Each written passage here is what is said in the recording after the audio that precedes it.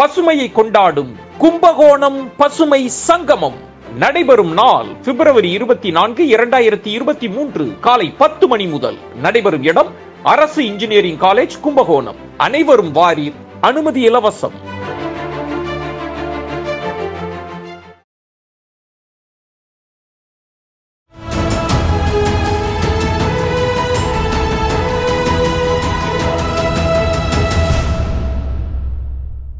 தமிழ் நிறம் நேயர்களுக்கு அன்பு வணக்கம். இன்று நம்மோடு தேர்தல் வியூக வகுப்பாளர் திரு ரிஷி இணைந்திருக்கிறார். வாருங்கள் அவரோட பேசுவோம். சார் வணக்கம்.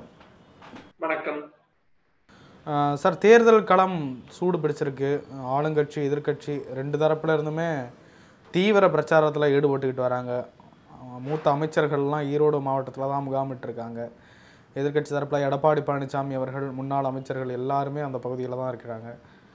களம் யாருக்கு சாதகமா இருக்குன்னு நினைக்கிறீங்க சார்? களம் இடைத்தேர்தல்னாலே அது ஆளுங்கட்சிக்கு சாதகமான களம் தான். வெள்ளூர் இடைத்தேர்தலையும் ஆர்கேனர் இடைத்தேர்தலையும் தவிர இடைத்தேர்தல்னாலே அது ஆளுங்கட்சிக்கு சாதகமான களங்கிறது தெரிஞ்சதுதான் இந்த இடைத்தேர்தலுங்கிறது வந்து ஆளுங்கட்சி கூட்டணியான காங்கிரஸுக்கு சாதகமா தான் இருக்குங்கிறது தான் உண்மை. இப்போ இந்த இடைத்தேர்தலை பொறுத்தவரையிலுமே என்னன்னா எவ்வளவு வாக்கு வித்தியாசத்துல திமுக கூட்டணி வெற்றி பெற போகுது எவ்வளவு வாக்குகள் அதிமுக பெற போகுது நாம் தமிழ் எவ்வளவு வாக்குகளை பெற போகுது இதை பொறுத்துதான் களம் போகுது. நான் இந்த களத்தை பொறுத்தவரையிலும் பாக்குறது கடந்த இருபது ஆண்டுகளாக நடந்த எல்லா இடைத்தேர்தலையும் எதிர்க்கட்சிகள் களத்துக்கு வந்தா அவங்களுக்கு இன்ஹரண்டா இருக்கிற ஓட்டை அவங்க காப்பாத்திக்கிறாங்க. களத்துக்கு வராம படுத்துட்டாங்கன்னா இன்ஹரண்டா இருக்கிற ஓட்டை இழக்கிறாங்க. இதுதான் வந்து கடந்த இருபது வருஷமா நம்ம பார்க்கணும். அஹ் எப்படின்னா ஆண்டிப்பட்டி இடைத்தேர்தல திமுக களத்துக்கு வந்தாங்க. முதலமைச்சரே போட்டி போட்டும் திமுகவுக்குன்னு உள்ள ஓட்டுகளை சீமான் ஒரு கேண்டிடேட் திமுக அவர் வாங்குறாரு. ஏற்காடு இடைத்தேர்தல்ல கனிமொழி பிரச்சாரத்துக்கு வந்திருந்தாங்க. களத்துக்கு வந்திருந்தாங்க அப்ப எடப்பாடி பழனிசாமி அவர்கள் தான் பொறுப்பாளராக இருந்தாரு. அப்ப ஏற்காட்டுல திமுக இருக்கிற முப்பத்தஞ்சு சதவீத வாக்குகளை வந்து திமுக திருப்பி பெற்றுக்கிட்டாங்க. அதுவே செங்கல்கோயில் இடைத்தேர்தல் களத்துக்கு திமுக சரியான அளவுல வரல. அப்படி வரலங்கும் போது திமுக டெபாசிட் இருக்குது சோ களத்துக்கு எதிர்க்கட்சிகள் வருதா இல்லையா வந்தவாசி திருச்செந்தூர் திருமங்கலத்துல ஜெயலலிதா அவர்களே களத்துக்கு வந்தாங்க. அப்ப அவங்க வந்து இன்னும் ஓட்ஸை காப்பாத்திக்கிட்டாங்க. அவங்க களத்துக்கு வராத பெண்ணகலம் மதுரை மத்தி மேற்கு இது மாதிரியான பகுதிகளில் அவங்க ஓட்ஸ் வந்து பாதிக்கு கீழே இறக்குறாங்க. இந்த ஒரு பேட்டர்ன் தான் நான் பாக்குறேன் அதுபடி பார்த்தா இங்க எதிர்க்கட்சியின் களத்துக்கு வந்திருக்காங்க. எதிர்க்கட்சியின் களத்துக்கு வந்திருக்காங்கன்னும் போது உள்ளாட்சி தேர்தலில் அவங்க பெற்ற 25% சதவீத வாக்குகள். அந்த வாக்குகளை பெறாங்களாங்கிறத பார்ப்போம். குறிப்பா இருபது சதவீத வாக்குகளுக்கு மேல பெறாங்களா? இல்ல அது கீழே வந்து டெபாசிட் இறக்குறாங்களா? இதுதான் அதிமுகவுக்கு வைக்கப்படும். காங்கிரஸ் கூட்டணி திமுக காங்கிரஸ் கூட்டணியை பொறுத்தவரைக்கும் அறுபத்தி சதவீத வாக்குகளுக்கு மேல அவங்க போகும் ஏன்னா ஏற்கனவே நாற்பத்தி நாலு சதவீத வாக்குகள் அவங்களுக்கு இருக்கு. பிளஸ் கமலஹாசனோட ஆறு பர்சன்ட் கண்டிப்பாக இருக்காருக்கும் போது ஐம்பது சதவீத வாக்குகள் களத்துக்குள்ள போகும்போதே அவங்களுக்கு இருக்கு. அதுக்கு மேல குறைஞ்சது பதினஞ்சு பர்சன்ட்டுக்கு மேலேயாவது அவங்க ஓட்டு இழுக்கணும். அப்பதான் வந்து அதிகார பலத்துக்கு ஓட்டை இழுக்க முடியுதுங்கிற ஒரு கருத்துங்கிறது மெய்ப்பிக்கும் இவ்வளவு அமைச்சர்களை போட்டு ஒர்க் பண்றது ஒரு யூஸ்ஃபுல்லான ஒரு விஷயமா சோ அவங்க அறுபத்தஞ்சுக்கு மேல போறாங்களாங்கிறது வெயிட் பண்ணி இதை பொறுத்து தான் களம் போகுது. குறிப்பா திமுக தலைமைக்கு அங்க வேலை செய்யக்கூடிய பொறுப்பாளர்கள் சொன்ன ஒரு ரிப்போர்ட் நேற்று வந்து சொன்னாங்கன்னா நாற்பதாயிரம் ஓட்டு அதிமுக வரும் நம்ம ஒரு லட்சத்தி பத்தாயிரத்துல இருந்து ஒரு லட்சத்தி இருபதாயிரம் ஓட்டு வருவோங்கிறது தான் தலைமையில சொல்லியிருக்காங்க. அதாவது அவங்க எய்ம் பண்றது அறுபதாயிரத்துல இருந்து எழுபது எழுபத்தாயிரம் வாக்குகள் வித்தியாசத்துல வெற்றி பெறணுங்கிற ஒரு எய்மா வச்சு அவங்க ஒர்க் பண்ணிட்டு இருக்காங்க. இது அடிப்படையில் தான் களம். ஒரு சில கருத்து கணிப்பு முடிவுகள்லாம் வெளியாகுது. அதில் என்ன சொல்கிறாங்க அப்படின்னா ஸ்டாலின் அவர்களுடைய ஆட்சியை விட எடப்பாடி பழனிசாமி அவர்களுடைய ஆட்சியே சிறந்த ஆட்சியாக இருந்தது அப்படின்னு மக்கள் நினைக்கிற மாதிரி அந்த கருத்து கணிப்பு முடிவெல்லாம் சொல்லுது. அதை பற்றி என்ன நினைக்கிறீங்க? நீங்க நேற்று வந்து லயோலா கருத்து கணிப்பை சொல்றீங்கன்னு நினைக்கிறேன். லயோலா கருத்து கணிப்புல எந்த கவர்மெண்ட் நல்லா இருக்கும் போது ஆன்டி இன்கம்பன்சி திமுக கவர்மெண்ட்டுக்கு இருக்குங்கிறத வந்து காட்டியிருக்காங்க. ஆனால் இந்த ஆன்டி இன்கம்பன்சியை அறுவடை பண்ணணும்னா இந்த கவர்மெண்ட்டை மாத்தணும்னா அனைத்து எதிர்கட்சிகளும் ஒன்று சேர்ந்து வரணும். ஆனா எதிர்கட்சி தலைவரா இருக்கிற எடப்பாடி பழனிசாமி ஆளுங்கட்சியோட அரசியல் பண்ணாம எதிர்க்கட்சியோட அரசியல் பண்ணிட்டு இருக்காரு. இந்த கவர்மெண்ட்டை வீழ்த்துறதுக்கு நாலு பேர் முக்கியமான ஆட்களா இருக்கும் ஓ பன்னீர்செல்வம் டிடிவி தினகரன் அன்புமணி ராமதாஸ் பாஜக. இந்த நாலு பேரும் முக்கியம். ஆனா எதிர்கட்சி தலைவரா இப்போ அதிமுகவுடைய ஃபேக்ஷனுக்கு தலைவரா இருக்கக்கூடிய எடப்பாடி பழனிசாமி இவங்க நாலு பேரையும் அரசியல் களத்துக்கு ஒழிச்சு கட்டணும்னு நினைக்கிறாரு. அதுக்கு ரெண்டாயிரத்தி இருபத்தி நான்காம் ஆண்டுல இருபத்தி ஆறாம் ஆண்டு தேர்தலில் தோத்தாலும் பரவாயில்ல. இவங்க நாலு பேரும் ஒழிச்சு கட்டிட்டு நம்ம களத்துக்கு சிஎம் கேட்டுட்டா வருவோம். அதனால ஒரு டேர்ம் ஸ்டாலினுக்கு எக்ஸ்ட்ரா கிடைச்சாலும் பிரச்சனை இல்லைங்கிறது அதுதான் அவருடைய அரசியல் கணக்கா இருக்கு. இதைத்தான் நாம் தலைவர் சீமான் வந்து விமர்சிக்கிறாரு. நீங்க வந்து அரஸ்ட் ஆகாம த- தப்பிக்கிறதுக்கு ஸ்டாலின் காசு கொடுத்துருக்கீங்கன்னு விமர்சிக்கிறாரு கொடநாடு கேஸ்ல. சோ இப்படி ஒரு டீலிங் போன மாதிரியே அவர் அதை விமர்சிச்சுட்டு வராரு.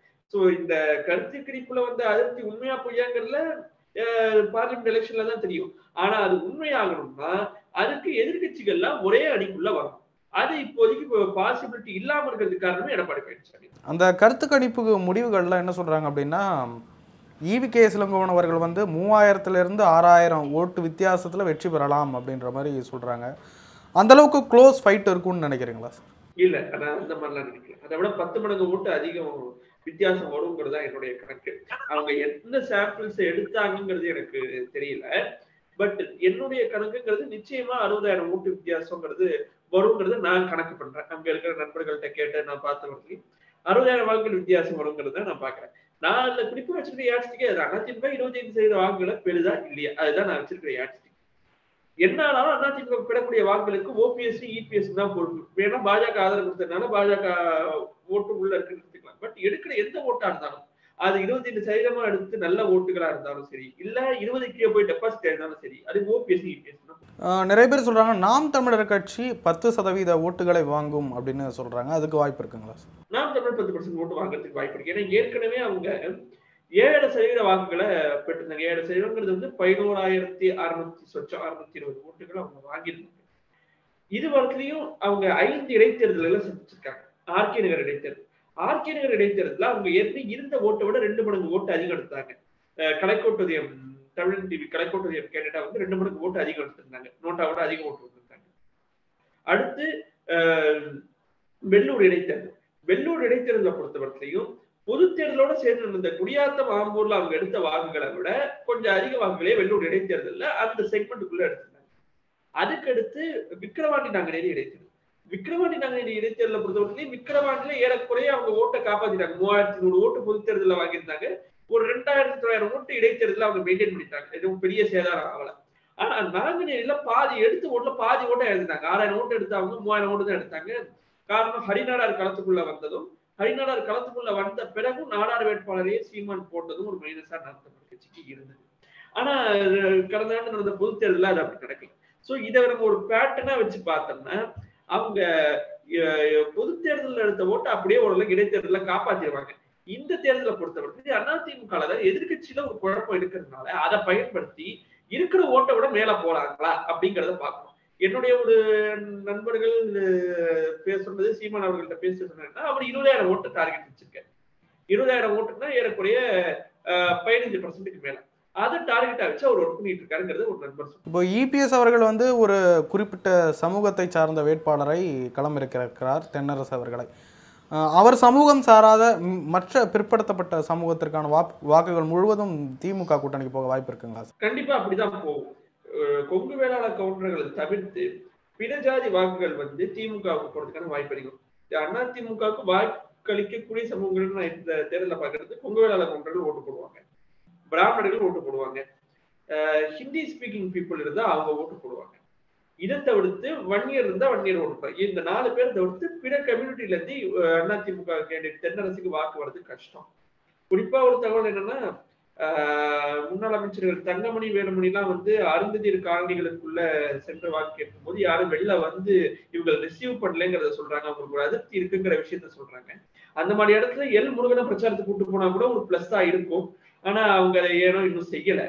சோ இந்த மாதிரியான குழப்பங்கள் அவங்க அணியில இருக்கிறதுனால இந்த நான் சொன்ன இந்த நாலு கம்யூனிட்டி தவிர பிற கம்யூனிட்டில இருந்து ஓட்டு வருது கஷ்டம். இப்போ அதிமுகவில் கேபி முனுசாமி போன்றவர்கள்லாம் சொல்றாங்க திமுகவுக்கு தோல்வி பயம் வந்துட்டதுனால தான் அமைச்சர்களை எல்லாம் களத்துக்கு அனுப்பியிருக்காங்க அப்படின்ற மாதிரி சொல்றாங்க.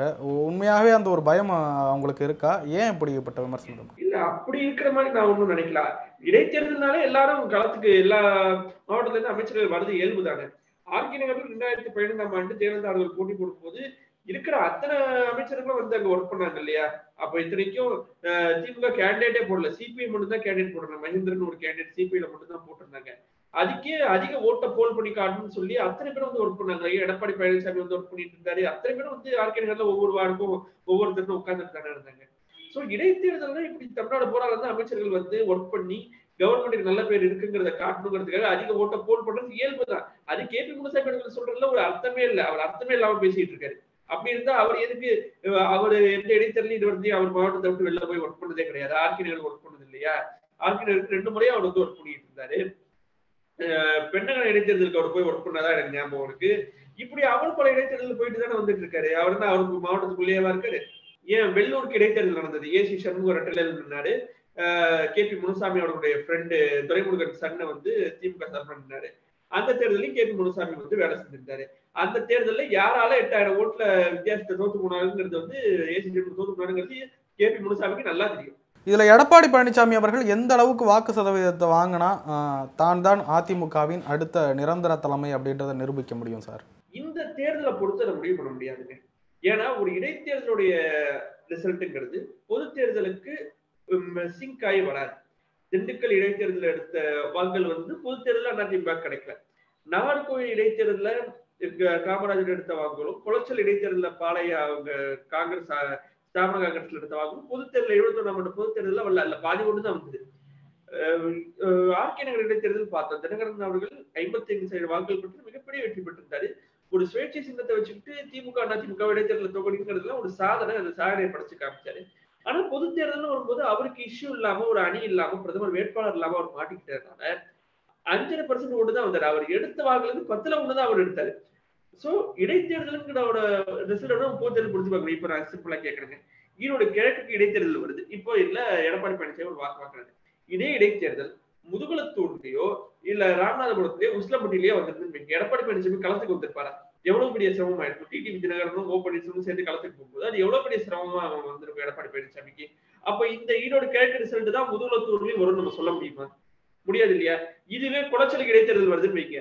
ஓபிஎஸ் சிபிஎஸ் ரெண்டு பேருமே நாங்க பாஜக ஆதரவு கொடுக்கணும்னு சொல்லிட்டு போயிடுவாங்க. இன்னைக்கு பாஜக ஆதரவு கொடுக்க மாட்டேன் ஆதரவு வாங்க மாட்டேன்னு இவ்வளவு பந்தா பண்றாரு இல்லையா எடப்பாடி பழனிசாமி குளச்சலுக்கு இடைத்தேர்தல் வந்தா பன்னீர்செல்வத்துக்கு முன்னாடி தாமரைக்கு தான் ஆதரவு இப்ப, பொன் ராதாகிருஷ்ணன் அண்ணாச்சி போடுற கேண்டிடேட் தான் ஆதரவுன்னா ஆதரவு சொல்லிட்டு போயிடுவாரு எடப்பாடி பழனிசாமியும் ஓ பன்னீர்செல்வம் சோ இந்த இடைத்தேர்தல் ஒரு பகுதி சார்ந்த விஷயம். அந்த பகுதி சார்ந்த விஷயம் ஒட்டுமொத்த தமிழ்நாட்டுக்கான விஷயமும். இதில் திரு ஓ பன்னீர்செல்வம் அவர்கள் பரப்புரைக்கே போகல அவரை கூப்பிடவும் இல்லை. இது என்ன மாதிரி தாக்கத்தை ஏற்படுத்தும் சார்? அது அவரை வந்து இந்த இடத்துல அவர் லூசிங் கிரவுண்டுங்கிற மாதிரி சொன்னாங்க பட் அவர் வந்து கண்டிப்பா பரப்புரைக்கு போவார். அவர் கண்டிப்பா ஒரு நாளாவது பரப்புரைக்கு போவாருன்னு தான் நான் நினைக்கிறேன். ஈரோடு கிழக்குல மேற்குக்காவது போயிட்டு எல்லாரும் ரெட்டலைக்கு ஓட்டு போடுங்கிறத ஒரு வார்த்தை சொல்லிட்டு தான் வருவாருங்கிறது தான் என்னுடைய கணிப்பு. ஏன்னா ரெட்டல அவருக்கும் உரிமை உள்ள ஒரு சிம்பிளா தான் இன்னைக்கும் இருக்கு. தேர்தல் ஆணையத்துல ரெட்டலை ஒருங்கிணைப்பாளருக்கும் இணை ஒருங்கிணைப்பாளருக்கும் சொந்தம் தான் இன்னி வருஷம் தேர்தல் ஆணைய ரெக்கார்ட்ல இருக்கு. இப்ப ரெட்டலை வந்து தமிழ் முஸ்லீம் மூலியமா கொடுக்கப்பட்டது ஓபிஎஸ்சி இபிஎஸ்சி உள்ளடக்கி ஒருங்கிணைந்த அதிமுக பொதுக்குழு. அது மூலியமா தான் ரெட்டலை தென்னரசு கிடைச்சிருக்கு. சோ ரெட்டலைங்கிறதுல அவருக்கும் உரிமை இருக்கு. அவர் உரிமையை அவர் விட்டு கொடுத்துட்டு போகணும் இந்த தேர்தலை பொறுத்த வரைக்கும் திரு எடப்பாடி பழனிசாமி அவர்கள் குறைந்தபட்ச வாக்குகள் வாங்கினாதான் திரு அது ஓ பன்னீர்செல்வம் அவர்களுக்கு கொஞ்சம் சாதகமாக அமையும். நீங்கள் எப்படியும் ஃபேக்ட் படி பார்த்தா. அது மாதிரி ஒரு சுச்சுவேஷன் இருக்கப்ப ஓபிஎஸ் ஆதரவாளர்கள் அவருடைய ஆதரவு நிலைப்பாட்டில் இருக்க வாக்காளர்கள்லாம் இரட்டை இலைக்கு வாக்களிப்பாங்களா? இல்லை அவங்களுடைய முடிவு என்னவா சார் இருக்கும்? அதாவது ஓபிஎஸ் ரெட்டலைக்கு வாக்களிக்குன்னு சொன்னாலும் ஓபிஎஸ் ஆதரவு வாக்காளர்கள் வந்து ரெட்டலைக்கு வாக்களிக்கிறதுக்கான வாய்ப்பு கம்மி தான் ஏன்னா ரெட்டலை வந்து தினகரன் சொன்ன மாதிரி அது ஆர் எம் வீரப்பா வந்து M N Nambiar P S Veerappa M R Radha இவங்க கையில இருக்கிற ரெட்டலையா தான் அதிமுக எடப்பா ஓபிஎஸ் ஆதரவாளர்கள் பார்ப்பாங்க. அவங்க நாம் தமிழருக்கு ஓட்டு போடுறதுக்கான ஒரு வாய்ப்பு இருக்கு. அவங்க நாம் தமிழருக்கு ஓட்டு போடுறதுக்கான வாய்ப்பு இருக்குங்கிறத களத்திலேயே சொல்றாங்க. நாம் தமிழருக்கு அவங்க மூவ் ஆகுறாங்க. இந்த தேர்தலில் வந்து எடப்பாடி கூட பாடம் போடணும்னு சொல்லிட்டு அவங்க நாம் தமிழருக்கு ஓட்டு போட வாய்ப்பு இருக்குங்கிறது நண்பர்கள் சொன்னாங்க. அதையும் தேர்தல் முடிவுல தான் பார்க்கணும். நான் இதுல ஓவரால் பாக்குறது இந்த தேர்தல் முடிவுனால எடப்பாடிக்கு சாதகமா எதுவும் மாறிட போறது கிடையாது. எடுக்கிற ஓட்டை அவர் கிளைம் பண்ண முடியாது. ஸோ அவர் என்னதான் மினிமம் ரெக்வயர்ட் ஓட்ஸ் எடுத்தாலும் அந்த ஓட்டுக்கு பிஜேபியும் கிளைமுக்கு வருவாங்க ஓ பன்னீர்செல்வம் கிளைமுக்கு வருவார். ஸோ இது ஒரு பொது தேர்தல் முடிவாக எடுத்துக்க முடியாது. இப்போ திரு ஓ பன்னீர்செல்வம் அவர்கள் நிர்வாகிகள்லாம் கூப்பிட்டு ஆலோசனை கூட்டம் நடத்த போகிறதா செய்தி வெளியாகிட்டு இருக்கு. என்ன மாதிரி ஆலோசனை கூட்டமாக இருக்கும்னு நினைக்கிறீங்க சார்? பிரச்சாரம் ஒரு நாளாவது கூட்டம் போட்டு ஈரோடு கிழக்குல பேசணுங்கிறத பத்தி தான் டிஸ்கஸ் பண்ணுவாங்கன்னு நினைக்கிறேன். இருபத்தி ஏழாம் தேதியோட பிரச்சாரம் முடியுது. அதுக்கு நடுவுல ஒரு நாள் போயிட்டு ஒரு வாரங்கிறதுக்கான ஆலோசனை கூட்டமா தான் நடக்கும். திரு அண்ணாமலை அவர்களோடு பிரச்சாரம் செய்வதை இபிஎஸ் தவிர்த்ததன் காரணம் என்னன்னு நினைக்கிறீங்க சார்? ஏன் அவங்கெல்லாம் அவருடைய ஸ்டேச்சரை காப்பாத்திக்கணும்னு நினைக்கிறாரு. என்னதான் சொன்னாலும் எடப்பாடி பழனிசாமி தமிழ்நாட்டுடைய முதலமைச்சரா இருந்தவர். முப்பத்தி மூன்று சதவீத வாக்குகள் பெற்ற அதிமுகவுல பாதியை தனக்கு சொந்தம் கொண்டாடக்கூடியவர். எண்ணிக்கை இருந்த எப்படி இருந்தாலும் பதினஞ்சு சதவீத வாக்குகளுக்கு சொந்தக்காரரா வருவார்னு எதிர்பார்க்கக்கூடிய படக்கூடியவர் Edappadi Palaniswami on the other hand Annamalai என்று பார்த்தோம்னா அண்ணாமலை மூணு பர்சன்ட் ஸ்ட்ரென்த் உள்ள பாஜகவுடைய நியமன தலைவர். அப்படி இருக்கும்போது எடப்பாடி ஸ்டே அதாவது பர்செப்ஷன் வைஸ் அண்ணாமலை மேல போயிட்டு இருந்தார். ஈரோடு கிழக்கு இடைத்தேர்தலுக்கு முன்பு. ஆனா இப்போ வந்து பர்செப்ஷனும் அவருக்கு அந்த அளவுக்கு கை கொடுக்கலங்கும் போது ஏன்னா தேர்தலை கண்டெஸ்ட் பண்ணல இல்லையா அவரு? அப்படி இருக்கும்போது எடப்பாடி பழனிசாமி அண்ணாமலைக்கு இணையான தலைவர் நான் இல்லை. நான் லீடு அண்ணாமலை நியமன தலைவர் தான். சோ அவருக்கு ஈக்குவலா நீங்க பிளேஸ் பண்ணாதீங்கிறத அவர் அந்த ஸ்டேட்மெண்ட் இன்னொரு பக்கம் பார்த்தீங்கன்னாலும் பெரும்பாலும் பிஜேபியினர் களத்தில் நிற்கிற மாதிரியே தெரியலைங்களே சார். அதுக்கு என்ன காரணமாக இருக்கலாம்? அவங்க தேர்தல கண்டெஸ்ட் பண்ணலையே. கண்டெஸ்ட் பண்ணாதவங்க களத்துக்கு எப்படி வருவாங்க? ஏபி முருகானந்தம் அவங்க பிரச்சாரம் இப்போ காங்கிரஸுக்காக திமுக நிற்கிறாங்க மற்றபடி ஜான் பாண்டியன் வராரு. தமாகாவில் யுவராஜ் வந்து எடப்பாடி பழனிசாமி கூடயே தான் இருக்காரு. ஆனால் பிஜேபியில் அது மாதிரி பார்க்க முடியலையே. யு- யுவராஜன் எடப்பாடி பழனிசாமி கூட இருக்கிறத நீங்க கணக்குல எடுத்துக்காதீங்க. அவர் இன்னும் அதிமுக கரவேட்டி தான் கட்டல. மத்தபடி அவர் எடப்பாடி பழனிசாமி கூடயே தான் இருப்பார். நீங்க அதை கணக்குல எடுத்துக்க வேண்டாம். ஜான் பாண்டியன் ஒரு நாள் பிரச்சாரம் அட்டன் பண்ணாரு. சிபிஆர் அன்னைக்கு அந்த அறிமுக கூட்டத்துல பங்கேற்றிருக்காரு. இதை தவிர்த்து கூட்டணி கட்சிக்காரங்க தூங்கக்கூடிய கூட்டணியில எத்தனை பேர் வந்து வேலை செய்வாங்க? ஏபி முருகானந்தம் வேலை செஞ்சுட்டு இருந்தாருன்னு நினைக்கிறேன். அங்கேயே டீம் போட்டு வேலை செஞ்சுட்டு இருந்ததா எனக்கு on the other hand DMK Congress work பண்ணா அது வேற கான்டெஸ்ட் அந்த அதிக ஓட்டுகள் வித்தியாசத்துல அவங்க வெற்றி பெற்றாலும் கவர்மெண்ட்டுக்கு நல்ல பேர் இருக்குங்கிறத அவங்க நிறுவ முடியும். அதுக்காக அவங்க கடுமையா வந்து உழைப்பாங்க. அதையும் இதையும் கம்பேர் பண்ண ஒட்டுமொத்தமாக இந்த இடைத்தேர்தல் முடிவுகள் எடப்பாடி பழனிசாமிக்கு என்ன மாதிரியான விளைவுகளை ஏற்படுத்தும்? அது சாதகமாக அமையுமா பாதகமாக அமையும் நினைக்கிறேன் அதாவது இருபது சதவீத வாக்குகளுக்கு கீழே அவர் போயிட்டாருன்னா அது எடப்பாடி பழனிசாமி மிகப்பெரிய சிக்கலை ஏற்படுத்தும். ஒரு இருபத்தைந்து சதவீத வாக்குகள் அதுக்கு அதுல இருந்து ஒரு இருபத்தஞ்சு டு முப்பது பர்சன்ட்டுக்குள்ள அவர் நின்றாலும் அதாவது உள்ளாட்சி தேர்தலில் எடுத்த ஓட்டை அவங்க காப்பா அவர் காப்பாத்திக்கிட்டாலும் அந்த வாக்குகளுக்கு ஓபிஎஸும் சொந்தம் கொண்டாட வருவார் பிஜேபியும் சொந்தம் கொண்டாட வருவாங்க. டெபாசிட் போனாலும் அதுக்கும் ஓபிஎஸும் பொறுப்பு தான் அதுல எந்த ஒரு மாற்றமும் இல்லை.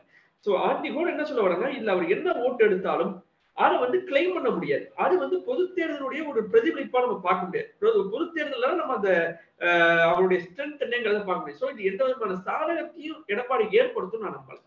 சிமா சார் என்ன நடக்குது அப்படின்றத பொறுத்திருந்து பார்ப்போம். நன்றி சார். எங்களோட இருந்து உங்களுக்கு கருத்துக்களை. பசுமையை கொண்டாடும் திருவாரூர் பசுமை சங்கமம். நடைபெறும் நாள் பிப்ரவரி இருபத்தி மூன்று இரண்டாயிரத்தி இருபத்தி மூன்று காலை பத்து மணி முதல். நடைபெறும் இடம் திருவாரூர் வேலுடையார் கல்வியியல் கல்லூரி வளாகம். அனைவரும் வாரீர் அனுமதி இலவசம்.